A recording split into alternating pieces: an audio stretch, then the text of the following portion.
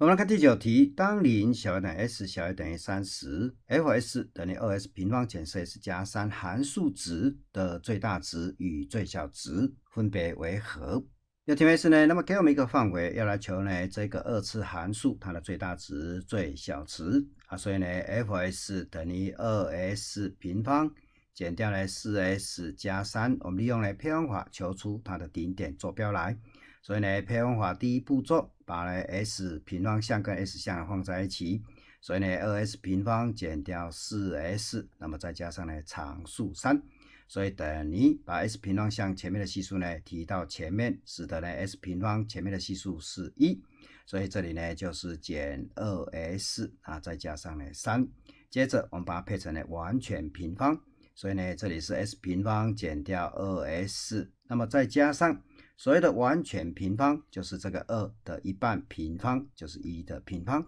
加上一的平方以后呢，马上啊把这个一的平方呢减掉，所以呢让括号保持不变，那么因此再加上三，所以呢就等于二啊乘上前面三项就是完全平方了，也就是呢 s 减一整个的平方，再减掉一的平方乘上二啊，所以这里呢是减掉二再加上三。那么因此呢，我们就求得它的标准形式，也就是呢两倍的 s 减一的平方减二加三，这里呢是加一。那么因此呢，这是一个抛物线的图形。抛物线的图形呢，我们来看啊，它的开口方向啊，所以呢，因为 s 平方前面的系数是正的啊，所以呢，它的开口方向呢就是向上。接着我们来看它的顶点坐标，所以它的顶点坐标呢啊，把它称为是 sy。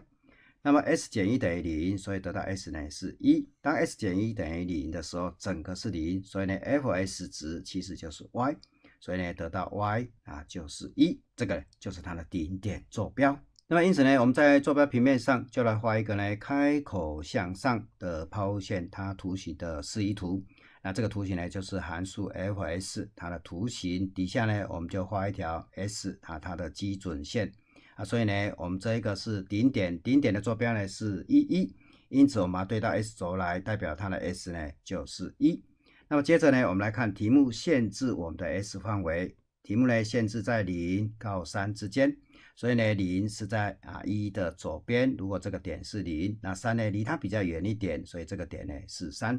意思也就是说呢，现在啊我们 s 的范围呢被限制在这边，那在这边呢我们把它对上去。也就是说呢，对到这个图形来限制在这个点三呢，我们把它对上来，对到这个图形上。那么因此我们就得知呢，在零跟三之间，它的图形呢，就是我们现在呢啊画黑色的这一块。那么在这一块区域里头，我们知道呢，最高点啊就是它的最大值，那么最低点就是它最小值啊，所以这个值呢就是它的最小值。那么意思也就是说呢，当 s 那么等于三的时候啊，这个函数呢 f(s) 就会有呢，这个是最高点，所以就会有最大值。那么最最大值呢就是 s，我们把它带三进来计算。所以呢，这里就是呢，三减一是二，二的平方是四，四乘二呢是八，八加一我们得到呢是九，这个是最大值。那么当呢 s 等于一的时候，这个时候呢是最低点，所以呢它会有最小值。这个最小值的意思呢，就是 f 一刚好啊，就是顶点，所以呢，f 一的值就等于一。那么因此呢，题目要来求这个函数值它的最大值跟最小值，我们计算求得呢啊，最大值是等于九，那么最小值就等于一，这个就是我们的答案。